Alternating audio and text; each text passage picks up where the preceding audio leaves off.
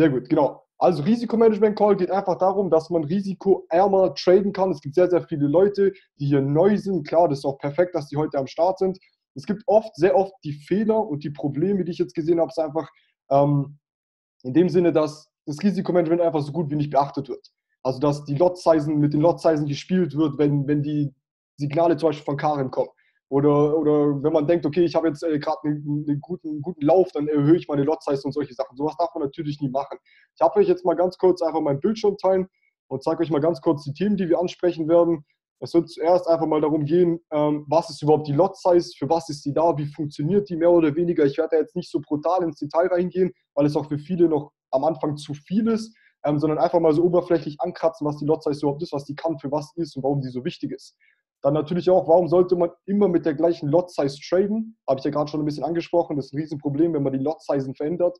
Dann eben den Stop-Loss nachziehen, auch eine ganz, ganz wichtige Sache, um risikofreier zu traden. Okay, also komplett risikofrei traden geht nicht, aber man kann sehr, sehr viel machen, um natürlich viel, viel besser und viel, viel mehr Profite rauszuholen und besser auf dem Markt zu agieren mehrere Trades auf ein Währungspaar setzen. Ich habe öfters gesehen, dass das Risikomanagement nicht beachtet wird, wenn mehrere Positionen auf ein Währungspaar eröffnet werden. Dazu werde ich auch noch ganz kurz kommen und ein paar Beispiele geben und ähm, dann einfach noch was Updates verfolgen angeht. Und am Ende würde ich vielleicht noch zwei, drei Minuten einfach mal den Chat offen lassen, dass die Leute einfach reinschreiben, falls es noch spezifische Fragen gibt. Wir können natürlich nicht alle Fragen abdecken und im Anschließenden werde ich dann ähm, noch einen weiteren Call haben mit Armin, sein Team speziell, weil er hat das Ganze angefragt, dass wir da einfach nochmal die Fragen so klären. Wenn ihr natürlich Fragen habt, dann einfach direkt an mich, direkt an die TPR, direkt an eure Upline, an, äh, an die Trading-Gruppe. Dafür haben wir extra einen Telegram, wo ihr euch einfach melden könnt. So, also wie gesagt, erstmal, was ist die Lot-Size überhaupt? Wichtig ist, dass ihr versteht, die Lot-Size ist im Grunde genommen euer Risiko. Okay, also es ist euer Risiko und wenn ihr die Lot-Size verändert, dann verändert sich auch euer Risiko. Okay, ganz, ganz einfach. Die Lot Size ist das, was ihr beim MetaTrade ganz oben einstellt. Das steht meistens zum Beispiel bei 0,01. Okay, das steht unter Marktausführung, da habt ihr die Lot Size und es gibt zum Beispiel 0,01 Lot, es gibt 0,1 Lot und es gibt 1 Lot. Das nennt man auch ein Standard Lot. So, diese Lot Size besagt jetzt, wie viel, also sozusagen mit wie viel Kapital ihr von eurem Konto, also mit wie viel Prozent geht ihr in einen Trade rein. Okay? Also wenn ihr zum Beispiel die Lot-Size zum Beispiel auf einen Standard-Lot habt, okay, und ihr habt ein 100.000 Konto, also ein 100.000er Konto, okay. Also nehmt mal an, ihr habt 100.000 Eigenkapital auf dem Konto, geht mit einem Standard-Lot rein. Das heißt, ihr seid jetzt mit 100.000 drin, also mit eurem kompletten Konto. Bedeutet einfach so wie viel, ihr habt euer komplettes Risiko auf einen Trade gesetzt. Und da gibt es ein gutes Sprichwort äh, beziehungsweise ein gutes Zitat. Ähm, ich weiß nicht, ob das von Robert Kiyosaki, das kam von Warren Buffett, genau. Leg niemals deine Eier in einen Korb, beziehungsweise leg niemals alle deine Eier in einem Korb, sondern verteil sie. Oder noch ein guter Spruch, teste die Tiefe einer Pfütze niemals mit beiden Füßen, sondern nur mit einem, beziehungsweise beiden, sorry. Also, dass ihr versteht, was ich meine. Es geht einfach darum, beim Risikomanagement, es geht immer darum, im Leben sich zu diversifizieren und genauso auch nicht alles auf eine Karte zu setzen. Bei Trading, wiederhole ich gerade nochmal fünfmal, Trading hat nichts mit Zockerei zu tun. Nichts mit Zockerei zu tun. Okay? Weil jeder, der hier denkt, der kann schnell Profite einfahren, mal einen Tausender am Tag, äh, 1000, 1000 Euro am Tag machen, was überdurchschnittlich hoch ist für sein Konto, der wird langfristig einfach keinen Erfolg haben. Der wird vielleicht heute Erfolg haben. Der wird vielleicht morgen noch Erfolg haben. Aber langfristig wird er einfach aus dem Markt rausgeworfen. Weil es einfach so ist, das ist Fakt. Es geht einfach darum, sich langfristig, okay, und da kommen viele Leute nicht damit klar, es geht darum, sich langfristig ein Konto aufzubauen mit guter Rendite, aber langfristig, nicht von heute auf morgen 2.000, 3.000 gemacht, weil das ist Zockerei. Da könnt ihr genauso im Automat, es hat nichts mit Trading zu tun, es hat nichts mit TPR zu tun, es hat nichts mit iMarket Self zu tun und mit dem eigentlichen Trading dahinter. Andere Sache, die ich ansprechen will, Trading, sagt Karim auch immer, hat 80% zu 80% was mit Psychologie zu tun und 20 eure Fähigkeit, die ihr zum Beispiel über diese Academy erlernt oder durch die Experten oder durch IMLTV. 80 Prozent dahinter ist die Psychologie. Deswegen versagen auch so verdammt viele Menschen auf dem Markt, weil sie keine Disziplin haben, weil sie gierig werden. Und ihr kennt es sicher alle, ich habe den Fehler natürlich auch schon gemacht, jeder von uns hat den Fehler gemacht. Er hat geile Signale von Karen bekommen und dann fängt man an, die Lot-Size hochzuschrauben. So, und dann hat auf einmal Karen keinen guten, äh, keine gute Trades gerade oder ist dreimal hintereinander in Stop-Loss gerast und auf einmal ist euer Konto leer. So, und jetzt fangen die Leute an, oh, Karin kann nicht traden, das funktioniert nicht, ist kompletter Bullshit. Nein, das lag an eurem Risikomanagement. Und wenn eure Leute in der Downline oder ihr zur Zeit oder den letzten Wochen kein Geld gemacht habt, kein Plus gemacht habt, dann macht ihr einen Fehler. Und zu 100 Prozent meistens, okay, sagen wir 90 Prozent, ich will nicht übertreiben, zu 90 Prozent liegt es an eurer Lot Size, dass ihr die nicht einhaltet. Okay? Also wie gesagt, nochmal zusammenfassend, die Lot Size besagt euer Risiko. Ich habe euch da mal ein Beispiel. Ich muss gerade mal hier aufmachen. Wo haben wir das? Gerade gedownloadet. Das habe ich äh, aus einer Gruppe bekommen. Okay? Aus einer Revolutionsgruppe von einem, der sich äh, mehr oder weniger beschwert hat, dass, äh, dass es halt nicht so läuft bei ihm, dass er keine Profite macht. So, jetzt schaut da bitte einfach mal drauf und sagt mir, was falsch ist. Lasst euch mal ganz kurz, währenddessen trinke ich mal einen Schluck Wasser. Schaut euch das Ganze einfach mal an. Und überlegt mal für euch, was läuft da schief.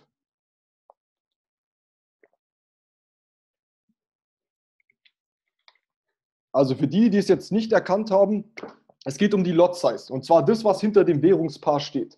Es steht ja zum Beispiel ganz oben, wenn wir ganz oben die Lot Size be äh, betrachten, dann sieht man ja, da steht USD JPY, Cell 0,05. So 0,05 ist jetzt die Lot Size, okay? Das heißt, er ist jetzt mit 0,05 mit seiner Lot Size in, in, in, in den Trade sozusagen reingegangen 0,05. Lot Size kommt jetzt darauf an, wie viel er auf dem Konto hat. Das könnten jetzt zum Beispiel 3, 4, 5, 6, 7, 8 Prozent seines Eigenkapitals sein. Wie man das nachher ausrechnet, wie man da sozusagen kommt, und ich gebe euch ein Beispiel, das machen wir gleich. Und einfach mal nur sehen, äh, einfach mal mit euch kurz diesen Trade hier durchgehen, diesen Trade-Verlauf. Also ihr seht hier USD JPY Sell 0,05. So, der ist jetzt in Stop-Loss wahrscheinlich geraus, wie man sieht, mit minus 7,68, okay? Dann haben wir hier nochmal ein GBP JPY, nochmal mit 0,05 Lot, minus 10 nochmal ein US-Dollar Schweizer Franken. Da hat er gemerkt, okay, krass, die letzten zwei Trades sind ins Minus gegangen, ich gehe mal mit der Lot-Size runter. Okay, aber trotzdem wieder minus 8,37. So, was er jetzt macht, okay, er geht wieder ein bisschen hoch und hat einen Sell auf Euro-Cut und hat 6,70 Euro Profit gemacht. Okay, GBP UAD, AUD meine ich, mit 0,03, 14 Cent im Minus und hat Euro NZD Sell auf 0,03 Lot mit 3,72 Euro im Plus gemacht. So, was ich euch damit jetzt sagen will, ist einfach, hätte er überall das gleiche Risikomanagement benutzt, okay, vielleicht jetzt bei der Ansicht, ist jetzt nicht die perfekte Ansicht, beziehungsweise nicht das perfekte Fallbeispiel, aber er wäre wahrscheinlich overall zwar im Minus gewesen, weil er hat ja ein, zwei, drei, vier Trades im Minus und zwei im Plus, okay, das ist wie gesagt vielleicht ein blödes Beispiel, ich habe gleich noch ein anderes, aber hätte er immer die gleiche Lot-Size beibehalten, okay, dann hätte er zwar Minus gemacht, aber nicht so heftig, weil ihr seht, er hat auf USD JPY 0,05 Lot gesetzt, auf GBP JPY 0,05 und Euro Cut, der ins Plus gegangen ist, hat er 0, 0, nur 0,03. Euro NZT auch nur 0,03. Ihr müsst euch jetzt überlegen, wenn er jetzt mit einem Sell auf 0,05 tradet und der geht ins Minus, dann muss er, wenn er anfängt mit 0,03 zu traden, die Lot heißt, dann muss er ja zwei Trades auf 0,03 traden, um das wieder drin zu haben, was er vorhin versaut hat in einem Trade, weil er mit der Lot Size zu hoch war. Versteht ihr, was ich damit meine? Es ist meistens so, man fängt an mit einer hohen Lot-Size, dann merkt man, oh Scheiße, läuft nicht, ich gehe mal mit der Lot-Size runter und jetzt macht ihr Plus. Ja, ihr macht Plus, aber ihr habt, die Lot-Size ist zu gering im Vergleich zu damals oder zuvor und somit müsst ihr mehr Gewinne einfahren. Das ist ganz einfach. Ihr öffnet einen Sell USD JPY mit 0,05 Lot. Eure eigentliche Lot-Size ist 0,01. Ihr solltet eigentlich mit 0,01 traden, okay? Setzt jetzt einen Trade mit 0,05, weil ihr denkt, krass, das ist ein Karim-Signal, äh, da gehe ich mit allem allem rein mit einem heftigen Risikomanagement mit 0,05 Lot. So, jetzt geht er aber ins Minus und geht in Stop-Loss. Jetzt habt ihr überdurchschnittlich, überdurchschnittlich heftigen Verlust gemacht. Okay? Und jetzt fangt ihr an, okay, scheiße, das war jetzt blöd, ich gehe jetzt mit dem Risikomanagement wieder runter. So, jetzt fangt ihr wieder an, mit 0,01 Lot zu traden. So, jetzt macht ihr Plus. Jetzt müsst ihr aber fünfmal hintereinander Plus machen, meistens. Oder sagen wir dreimal, okay? Oder mindestens dreimal. Um das wieder reinzuholen, was ihr vorhin in einem Trade verloren habt. Einfach nur, weil ihr euch nicht an eure Lot-Size gehalten habt. Und so geht es die ganze Zeit. Wir fangen an zu traden, gehen immer höher, höher, höher mit der Lot Size, dann sehen wir scheiße Minus und dann fangen wir wieder von unten an. So, und dann macht ihr wahrscheinlich Gewinne meistens. Aber die Gewinne reichen einfach nicht aus, um das wieder reinzuholen, was ihr ausgegeben habt. Deswegen ist es so verdammt wichtig, dass ihr immer die gleiche Lot Size dabei behaltet. Weil wenn ihr einen Trade öffnet mit immer 0,03 Lotte zum Beispiel und der geht in Stop-Loss, dann sind es 20, 30, 40, höchstens 60 Pips. Okay? Aber wenn ihr einen Take Profit habt auf 0,03, dann sind es meistens 40, 50, 60 oder sogar 124 Pips oder sogar noch mehr. Okay, versteht ihr, was ich damit meine? Deswegen ist es so verdammt wichtig, immer die gleiche Lot Size beizubehalten. Okay, also immer, immer, ich wiederhole es noch fünfmal, immer gleiche Lot Size, immer gleiche Lot Size, immer gleiche Lot Size, immer gleiche Lot Size, immer gleiche Lot Size. Okay, nach dem dritten Mal sollte es psychologisch gesehen so eingebrannt sein im Kopf, dass nie wieder jemand vergisst. Okay, also niemals die Lot Size ändern, niemals. Außer ihr könnt wirklich gut traden und ihr könnt Risikomanagement mitgehen. Ihr werdet auch von Leadern sehen. Ihr werdet vielleicht auch mal von mir sehen, dass ich in einen Trade reingehe mit überdurchschnittlichem hohen Risikomanagement.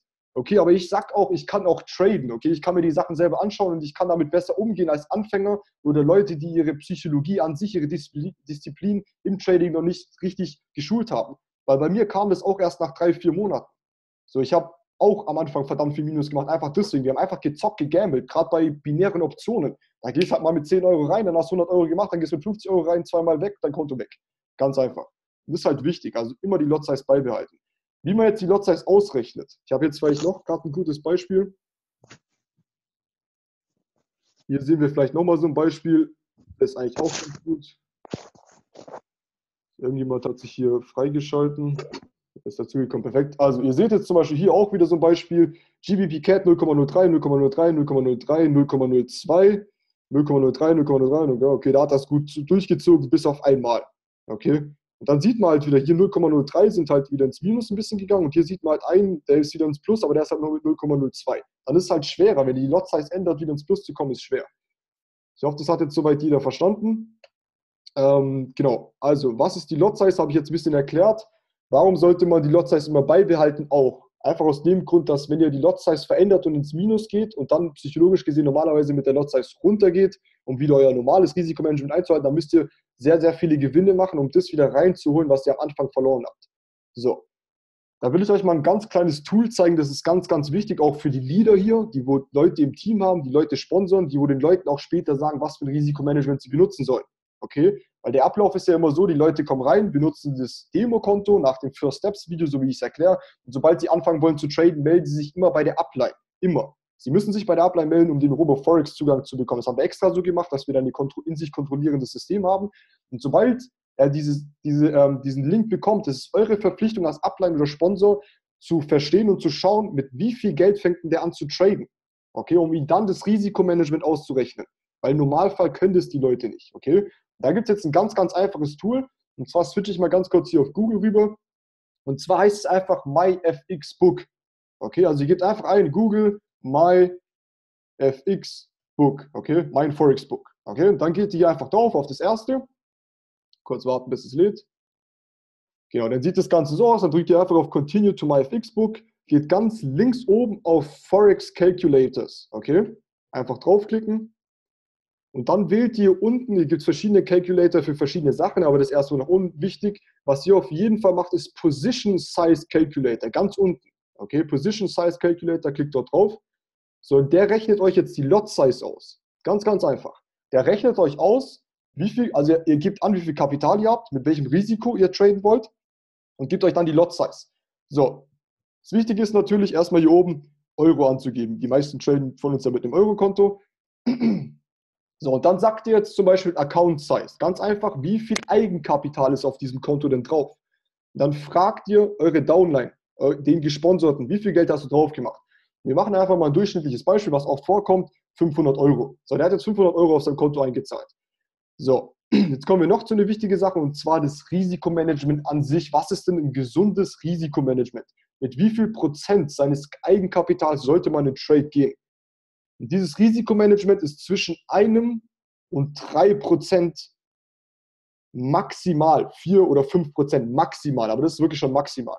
Okay, also zwischen ein und drei Prozent sind das, was die Experten vorschlagen beim Trading. Okay, ich bin selber auch ein bisschen risikoreicher, also ich habe immer so zwischen drei, vier Prozent, aber ich empfehle euch von Anfang auf jeden Fall die ein bis drei Prozent, auf jeden Fall. Okay, und dann gebt ihr jetzt einfach mal, wir machen die gesunde Mitte, zwei Prozent ein. Okay, Stop Loss Jetzt müsst ihr den Stop-Loss angeben, sonst das braucht, die, das braucht das System für die Berechnung eurer Lot-Size.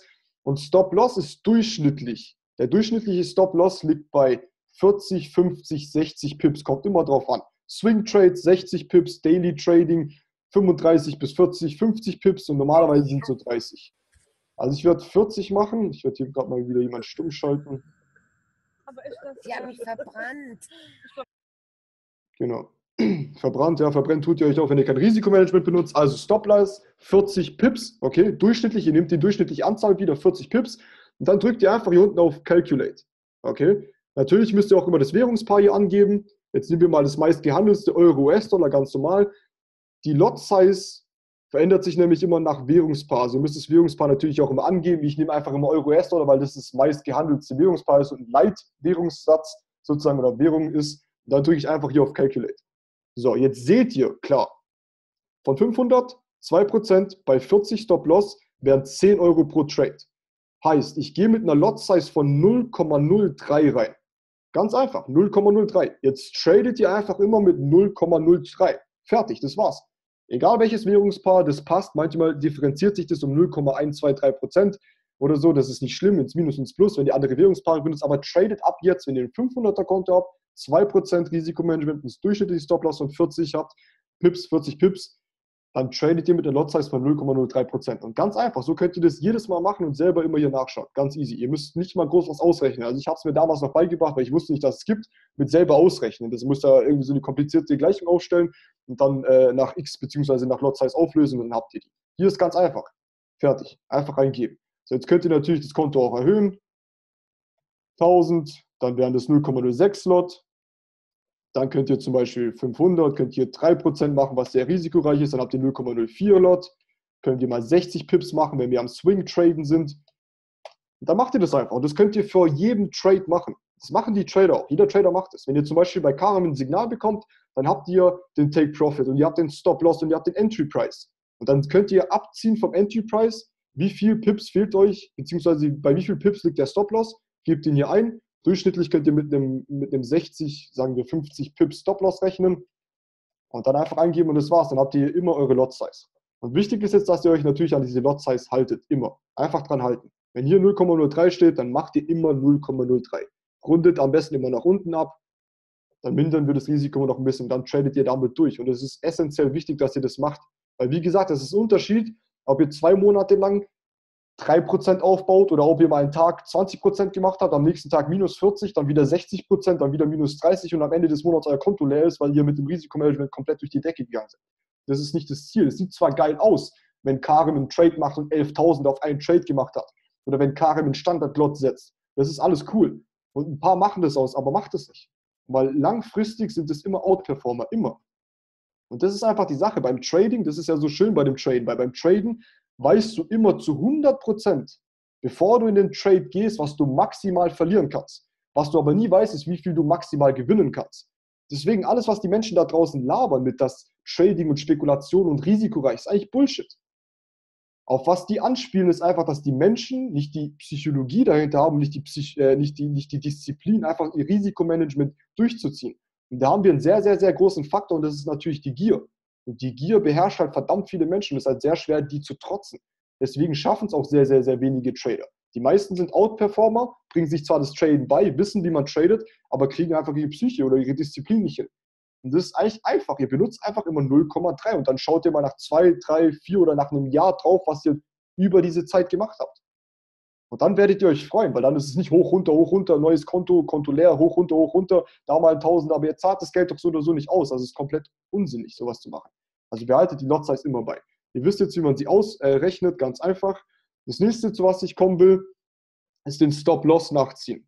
Okay, Stop-Loss nachziehen bedeutet, wenn ihr eine Position öffnet, okay, sagen wir mal, wir öffnen, das Ganze mal ein bisschen größer, wir öffnen Position auf Euro, schreibe hier Überschriftsformat, dass es ein bisschen größer ist. Euro, US-Dollar. Okay, wir gehen rein bei 1,23. 1,23, 00. Okay, das ist unser Entry. So, der Take Profit, wir sagen, es ist ein Sell, okay?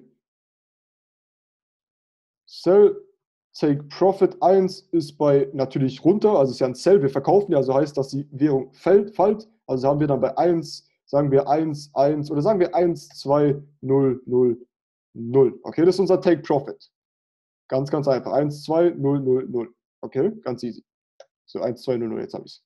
Perfekt. Take Profit 2 können wir auch noch machen. Das ist normalerweise zum Beispiel bei Karim oft so, dass mehrere Take Profits angegeben werden. Sagen wir das bei 1, 1, 9, 0. Okay? Also ein paar Pips Unterschied, 10 Pips in dem Beispiel jetzt. Und jetzt seht ihr zum Beispiel, ist ein Sell, Take Profit ist bei 1, 2, 0, 0, also wir setzen darauf, dass der Kurs fällt. Und der Stop-Loss ist jetzt zum Beispiel bei 1, 2, 3, 3 oder sagen wir 3, 3, 0, okay. Also 30 Pips, 30 Pips Stop-Loss.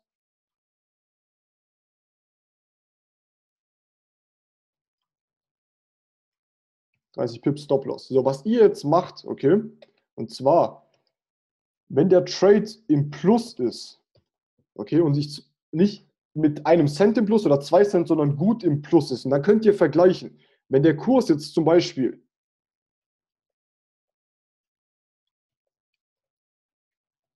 Kurs steht jetzt bei, also wir haben gekauft bei 12300. Es ist ein Sell, unser Take Profit ist bei 1200 und wir sagen mal, der Trade ist jetzt gerade bei 1, 2, 2, 0. Okay, also heißt, wir haben jetzt schon mal 100 Pips einfach als Beispiel sozusagen, beziehungsweise in dem Fall sind es jetzt, warte, von 100, 1, 2, 3 auf 1, 2 ist jetzt in dem Beispiel 1, 2, hoppala. Heiland Zacke. 2.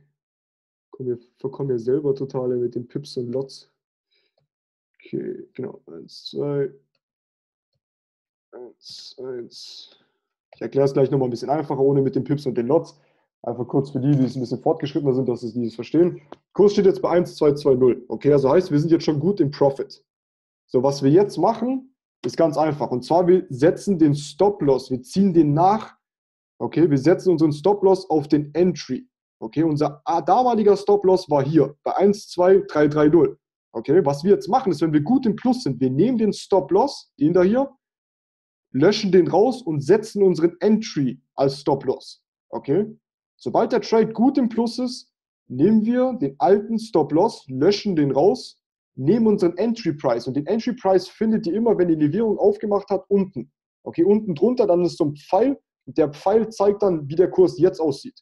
Und was ihr macht, Stop-Loss rauslöschen den alten und ihr nehmt den Entry-Punkt. Bedeutet jetzt, wenn der Kurs wieder zurückfallen sollte, wenn es ein Pullback gibt, dann habt ihr einen risikofreien Trade.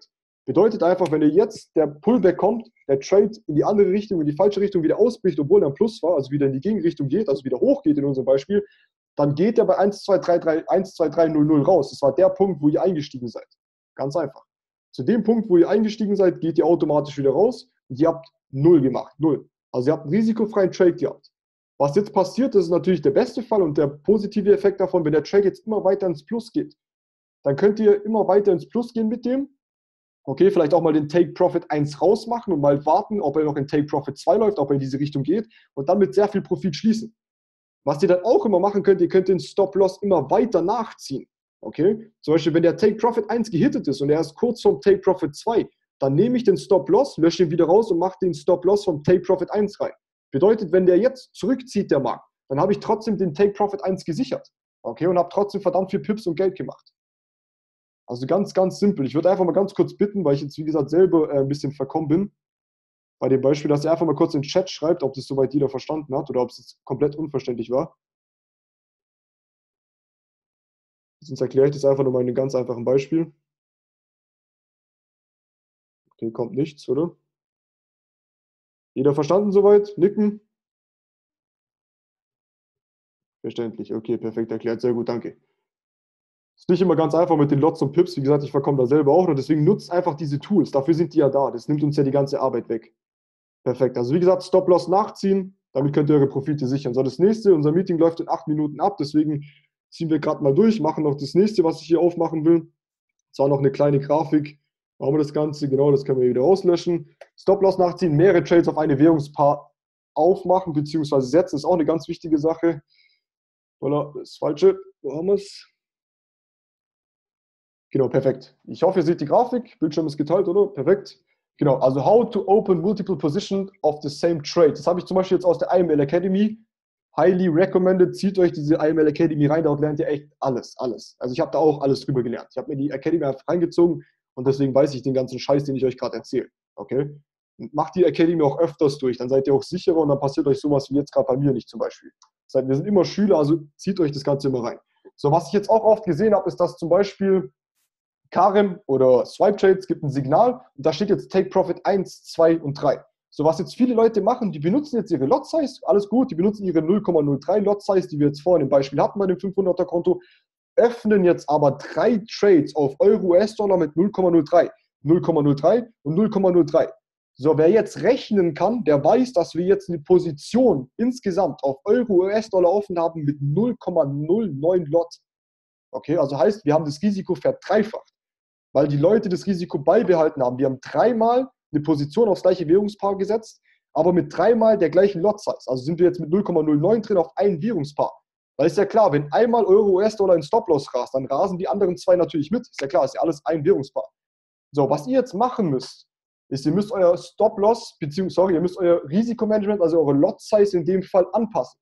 Okay, das ist eigentlich ein richtig geiles Beispiel, das passt perfekt zu dem Beispiel vorhin von uns.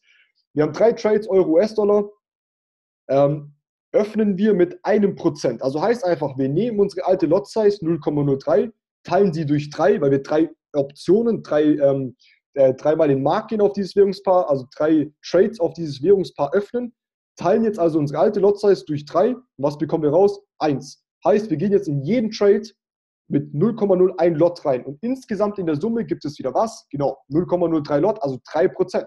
Ganz einfach, das müsst ihr machen. Weil ist ja klar, wenn ihr, wenn ihr das Risikomanagement nicht anpasst, dann habt ihr eine viel zu hohe Lot-Size auf ein einziges, auf ein einzigen Währungspaar. Und was ihr jetzt machen könnt, ihr habt jetzt hier zum Beispiel drei Währungspaare, Euro-US, äh, dreimal sozusagen drei Positionen offen auf Euro-US-Dollar. Und jetzt zum Beispiel das erste Euro-US-Dollar ist zum Beispiel Take Profit 1. Zweites Euro-US-Dollar-Position ist Take Profit 2 und dritte ist Euro-US-Dollar 2, äh, äh, das dritte ist Euro-US-Dollar wieder mit Take Profit 3. Also habt ihr jetzt drei Positionen offen mit drei verschiedenen Take Profits. Und das ist gut, weil dann habt ihr Teilgewinne. Wenn der Euro-US-Dollar jetzt runtergeht, zum Beispiel, geht ihr durch den Take Profit 1, perfekt. Take Profit 2, perfekt. Take Profit 3, nicht unbedingt. Kurz davor kann man schließen. So, und jetzt habt ihr drei Trades gesetzt, mit insgesamt 0,03 Lot Size, was eurem Risikomanagement von 3% entspricht und das passt perfekt. Und das ist eben Bad Risk Management. Das wäre jetzt zum Beispiel auf der anderen Seite das Beispiel. Euro US-Dollar 3%, Euro US-Dollar 3%, Euro US-Dollar 3%. Insgesamt kommen wir auf 9% und das ist ja schon viel, viel zu hoch. Ich habe vorhin gesagt, maximal 4%. 3% ist perfekt. Und das ist einfach die Sache ganz einfach. Okay, also einfach die Lot Size, die ihr jetzt habt, ausgerechnet habt durch die Anzahl der Trades, der Positionen teilen, die ihr öffnen wollt, die ihr machen wollt. Ganz easy. Soweit auch jeder verstanden? Mal kurz nicken. Ist, glaube ich, ziemlich einfach. Man muss einfach mal nur gehört haben. War, ich hab, saß vor der Academy auch, lag im Bett und dachte mir so, okay, krass, das ist eigentlich voll simpel. Ich habe es nie gecheckt, ich habe es nie gemacht, obwohl es eigentlich ganz simple Sachen sind, die man einfach für sich behalten muss. Okay, da schreibt gerade jemand den Chat. Ja, ja, jupp, jupp, verständlich, perfekt. So, dann das letzte noch, auf was ich eingehen will, und zwar bezieht sich das jetzt eben auf die Updates. Okay? Also ich weiß, dass bei Swipe Trades gerade kommen ja öfters Updates rein. Genauso wie bei Karim, bei der IMLTV Trading Gruppe, bei Blue Signals, bei was auch immer, welchen Trading Gruppen ihr folgt oder was mit iMarkets Live zu tun habt. Manchmal sogar auch beim Harmonix Scanner kommen Updates, Trade Updates. Okay, bedeutet einfach, es hat sich irgendwas am Markt verändert. Irgendwas ist anders geworden, wir müssen irgendwas nachziehen, man muss den Take Profit ändern, man muss die Position schließen. Beachtet diese Updates bitte, die sind ja nicht zum Spaß da. Okay? Wischt da nicht einfach weg aus StripeDead und sagt, okay, scheißegal, das wird schon laufen. Nein, das ist wichtig. Weil oft kommt zum Beispiel Marktsituationen, in denen, weiß nicht, irgendeine Nachricht gedroppt ist, irgendwas in der Politik sich drastisch verändert hat. Und dann ändert sich natürlich auf einmal schlagartig alles. Okay? Und dann müsst ihr einfach die Updates beachten, also den, den, den Take Profit nachziehen, die Position äh, schließen, zum Beispiel Pending Orders, also äh, äh Buy Limits, Sell Order, äh, Buy Limits, Sell Limits und so weiter oder Buy-Stop, Sell-Stop, solche Orders, die ja noch nicht im Markt sind, das sind ja Pending-Orders, schließen. Weil nicht, dass sie irgendwie ausgelöst werden unter einer Kondition, wo der Markt schon gar nicht mehr ist. Oder zum Beispiel, ihr macht ein, ein Sell-Limit am Montag auf und nächste Woche am Dienstag geht der los und der Markt hat nichts mehr damit zu tun, was er vor einer Woche gemacht hat. So. Und dann ist ja klar, dass der ins Minus geht. Also achtet auch eben auf diese Updates. So, dadurch, dass wir jetzt noch genau drei Minuten haben, werde ich den Call jetzt einfach auslaufen lassen und einfach mal kurz meine Bildschirmteilung aufheben und einfach mal jetzt den Chat freilassen, beziehungsweise ballert mal bitte alle eine Eins rein, wenn ihr bis jetzt alles verstanden habt, was bis jetzt dran kam. Und wenn euch das Ganze ein bisschen was gebracht hat. Einfach mal reinballern, dass ich sehe, dass overall die meistens verstanden haben und ich nicht gegen die Wand geredet habe. Okay, perfekt. Sehr gut, dann warten wir jetzt noch kurz, bis es ausklingt und dann könnt ihr gerne eure Fragen reinstellen bitte jetzt nicht zu tief in die Materie rein. Wenn es zu tief geht und ihr wisst selber, dann fragt mich einfach direkt, macht mir eine Sprachmemo. Ich werde die im Laufe des Abends natürlich beantworten. Also ballert raus, wenn ihr irgendwelche Fragen habt, jetzt ist Zeit dafür, schreibt es rein, fragt mich, WhatsApp, was auch immer, gar kein Stress. Das ist halt ganz, ganz wichtig. Ihr müsst unbedingt, unbedingt euren Leuten im Team als Leader, als Sponsoren, müsst ihr den Leuten das Risikomanagement beibringen. Weil unsere Produkte machen Geld. Die Statistik passt. Overall machen wir Geld. Die Frage ist nur, benutzt du das Risik richtige Risikomanagement oder nicht. Weil wenn du das nicht machst, dann bist du halt, egal wie gut die Signale gibt, sind. Es ist nicht mehr egal, wie gut die sind. Ihr werdet trotzdem Outperformer sein, ihr werdet trotzdem abkacken. Wie gesagt, 80% Psychologie und da steckt halt die Gier, Gier ganz, ganz, ganz vorne. Und das müsst ihr einfach unter Kontrolle bekommen. Das hat bei mir auch ein paar Monate gebraucht, aber das bekommt ihr hin.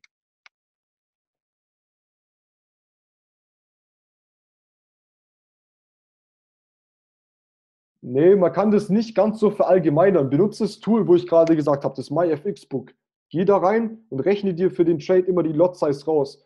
Das, was ich jetzt gerade gesagt habe mit den mehreren, mit den multiplen ähm, Positionen auf ein Trade, bedeutet einfach, dass wenn du drei Trades setzt, dass du die Lot-Size durch drei teilst und dann mit der Lot-Size, die dann rauskommt, also ein, also 0,01, damit dann reingehst.